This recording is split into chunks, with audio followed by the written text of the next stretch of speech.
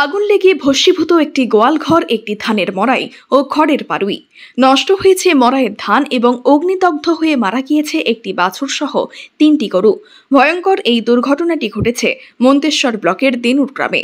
ক্ষতিগ্রস্ত মারিক দেবাশিস সাঁই জানান, বাড়ির পাশে গোয়াল বাড়ি। আমি বাড়িতে ঘরের মধ্যে ঘুমিয়েছিলাম। হঠাৎ ঘুম ভেঙে যায় এবং মাঝরাতে আমার ঘরের জানালা থেকে দেখি গোয়ালঘর জ্বলছে। গোয়ালঘর জ্বলছে দেখে আমি চিৎকার আরম্ভ করি এবং পাড়া প্রতিবেশীরা ছুটে আসেন। খবর দেওয়া হয় মন্তেশ্বর থানায়। এলাকাবাসী ও পুলিশের সহযোগিতায় মোটর চালিয়ে আগুন নেভানোর চেষ্টা করে। প্রায় ঘণ্টা তিনেক পর আগুন নিয়ন্ত্রণে আসে। তিনি আরও জানান, কীভাবে আগুন লাগল বুঝতে পারা যাচ্ছে না। গোয়ালঘরে ধোঁয়া দেওয়ার জন্য আগুন লাগার কারণ হতে পারে বলেও মনে করছেন তিনি। তবে প্রায় তিন লক্ষ টাকার ক্ষতি হয়েছে বলে দাবি করেছেন তিনি। এই ঘটনার খবর জানতে পেরে পরিদর্শনে আসেন দেনুর পঞ্চায়েতের উপপ্রধান মকদম হোসেন শেখ। পঞ্চায়েতের গ্রামীণ উন্নয়ন দপ্তরের আধিকারিক কালাচাঁদ রায়, পুলিশ প্রশাসনের অফিসাররা। গ্রামীণ উন্নয়ন দপ্তরের আধিকারিক কালাচাঁদ রায় জানান মন্তেশ্বরের বিডিও সঞ্জয় দাসের নির্দেশে পরিদর্শনে আসি যাতে ক্ষতিগ্রস্ত মালিক দেবাশিস সাঁই ক্ষতিপূরণ পায় তার ব্যবস্থা গ্রহণ করা হবে। মন্তেশ্বর থেকে জ্যোতির্ময় মণ্ডলের রিপোর্ট বর্ধমান টুডে। কালকে রাত্রে আগুন লেগেছিল। কোথায়? আমার গোয়াল বাড়িতে খামার বাড়িতে। আমার বাড়িতে। কি কি পুড়েছে? গোয়াল গোয়াল পুড়েছে গোয়ালে তিনটে গরু ছিল। ধান ধানে মড়াই আহ, পালা ছিল খড়ের পালা। কে দেখল?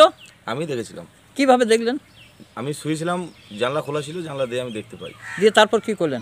তারপর নেমে এলাম গ্রামের লোকজন ডাকলাম। কীভাবে চিৎকার করে- হ্যাঁ চেঁচিয়ে ডাকলাম। দিয়ে তারা এসে কি করলেন গ্রামবাসী? সবাই মিলে এসে বালতি কেউ ইয়ে নিয়ে জল মেশিন মেশিন দিয়ে আগুন নিয়ন্ত্রণে নিয়ন্ত্রণে এনেছি। আগুন কতক্ষণ পর নিয়ন্ত্রণে এলো? প্রায় আড়াই তিন ঘণ্টা। আড়াই তিন ঘণ্টা। প্রশাসন পুলিশ প্রশাসন জান- জানিয়েছিলেন হ্যাঁ, এসেছিলেন।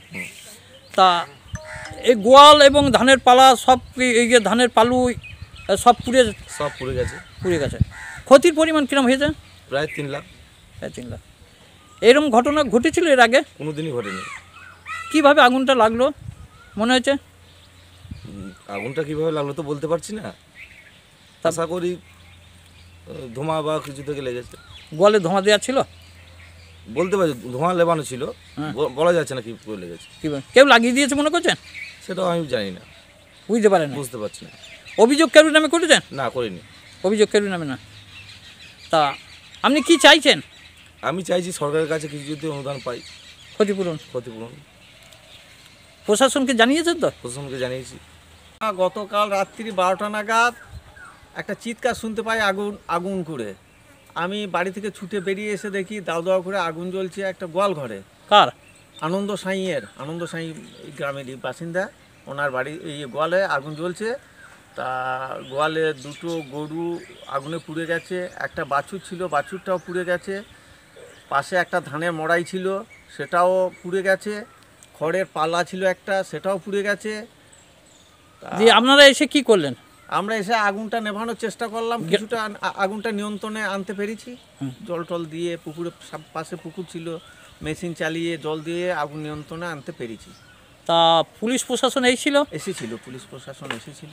ওনাকে জানানো হয়েছে ওনাদের? জানানো হয়েছে উনি উনিও ছবি তুলে নিয়ে গেছেন। ওনাদের? ওনাদের ছবি তুলে নিয়ে গেছেন।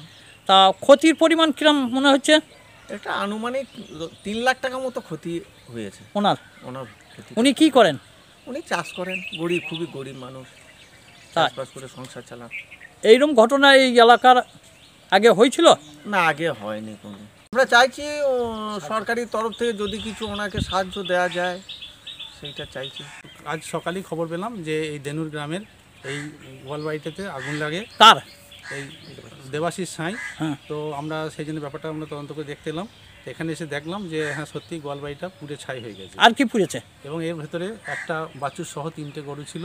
তো সেগুলো পুড়ে গেছে এবং গোয়ালের মধ্যে যা ছিল চাষের মানে সামগ্রী বিভিন্ন ধরনের যন্ত্রপাতি সেগুলো পুড়ে গেছে এবং তাছাড়া পাশেই ছিল খড়ের পালুই।